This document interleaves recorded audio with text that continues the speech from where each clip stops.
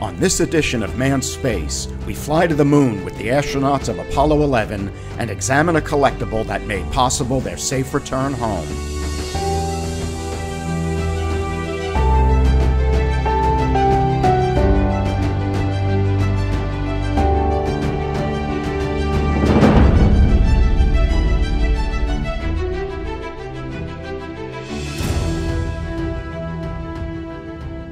May 5, 1961, Alan Shepard completed a 15 minute suborbital space flight to become the first American to travel into space.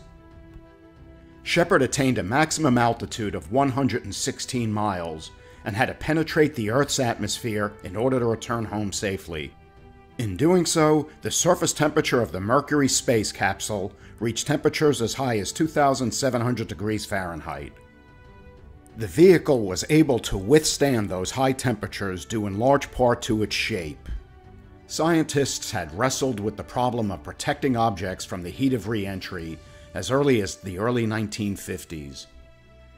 They were developing missiles capable of lifting nuclear payloads into space and delivering the payload somewhere on Earth.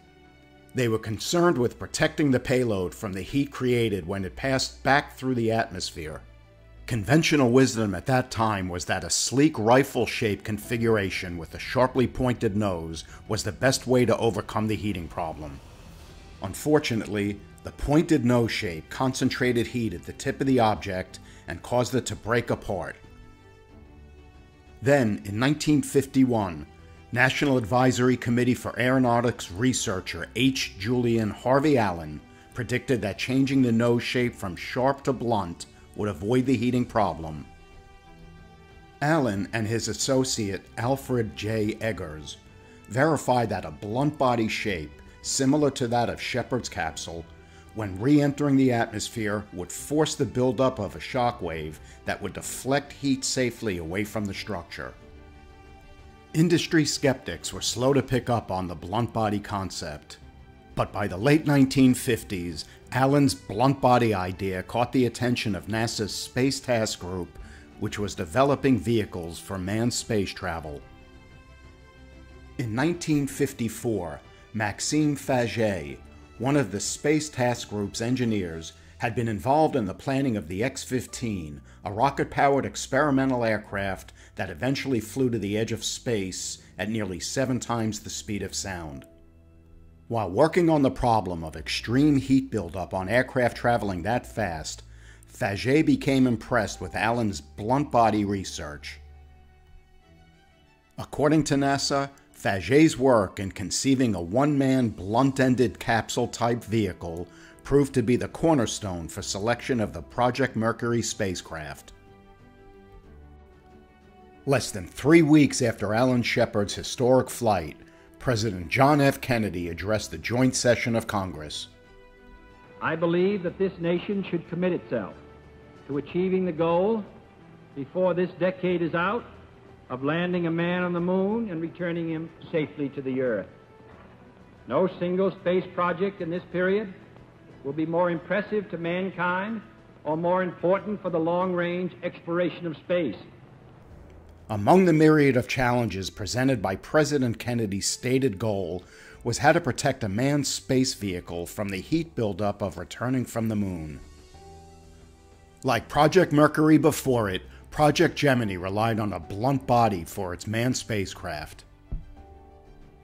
The Apollo Command Module was also to be a blunt body spacecraft.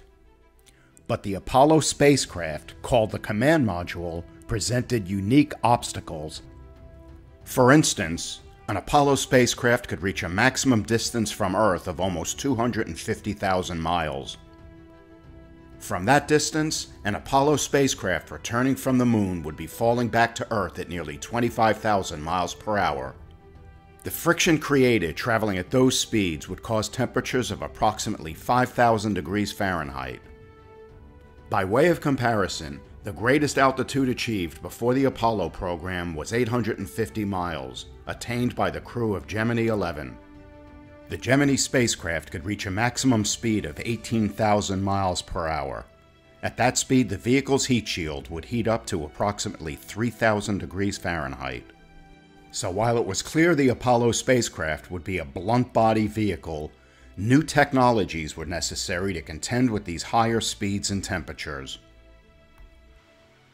The prime contractor for the Apollo Command Module was North American Aviation, but it was the people of the Aeronca Company that manufactured major components of the Apollo heat shield. Aeronca fabricated a special stainless steel honeycomb sandwich that served as the outer structure of the spacecraft. Then, an ablative or heat dissipating material was applied to the entire stainless steel structure. Developed by the Avco Corporation's Space Systems Division, the ablative material was composed of a fiberglass honeycomb impregnated with a resin and bonded to the stainless steel structure with an epoxy based adhesive. The material was heated and injected into each of the more than 370,000 cells that comprise the honeycomb structure. If the ablative material was to work properly, it would melt and erode away from the command module as it heated up.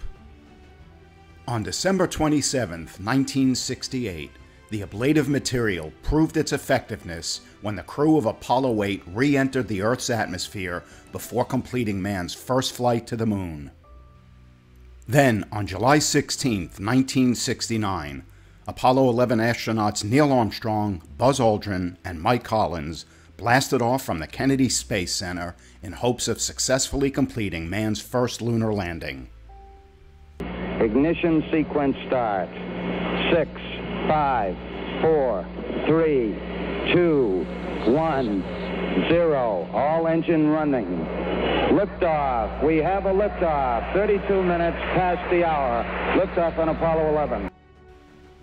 Just four days after their launch, astronauts Neil Armstrong and Buzz Aldrin successfully landed their lunar module called Eagle on the moon's surface. Contact light. Okay, engine stop. Houston, uh, Tranquility Base here. The Eagle has landed. Roger, Tranquility. We copy you on the ground. You got a bunch of guys about to turn blue. We're breathing again. Thanks a lot. Within hours of safely landing on the moon, Neil Armstrong exited the lunar module for his first historic steps on the lunar surface.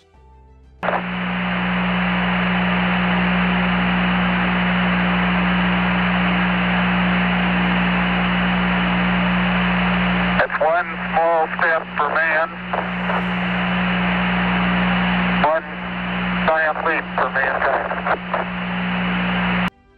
Armstrong was soon joined on the lunar surface by Buzz Aldrin. The two remained on the moon for over 21 hours before launching for a rendezvous and docking with the command module for the trip home. The heat shield and its ablative material were once again put to the test on July 24, 1969, when the crew successfully passed through Earth's atmosphere and splashed down in the Pacific Ocean. We're looking at a display that contains an ablative plug removed from the Apollo 11 command module Columbia following its return from the moon. Fabricated from the same ablative material as the rest of the heat shield, this plug was threaded into a hole to cover a bolt that secured an access panel to the spacecraft's exterior. This plug was one of over 500 such plugs installed on Columbia and was removed by O.W. Nasse in August of 1969. Nasse was one of about a dozen Rockwell Space Division workers assigned to Apollo 11's post landing and safety recovery team. In this close up photo taken of Columbia while it was on display at the Smithsonian Air and Space Museum, plugs similar to this one can clearly be seen, as can a hole where a plug had been removed. In addition to the ablative plug and written description, the display includes a photograph of Columbia as it is hoisted aboard the USS Hornet. Finally, it includes an Apollo 11 mission patch.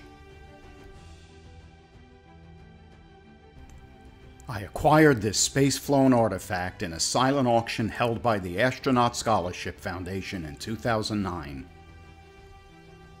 Are you a collector of space flown artifacts? Maybe you have an object that flew aboard Apollo 11. If so, please tell us about it in the comments section below. Thanks again for watching Manned Space.